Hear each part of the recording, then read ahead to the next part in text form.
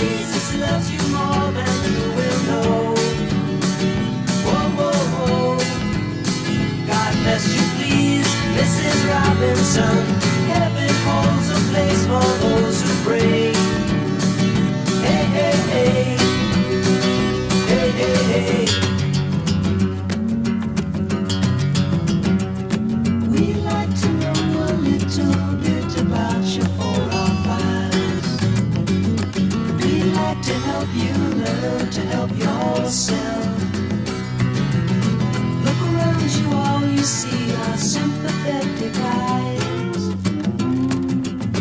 Stroll around the grounds until you feel at home. And here's to you, Mrs. Robinson. Jesus loves you more than you will know.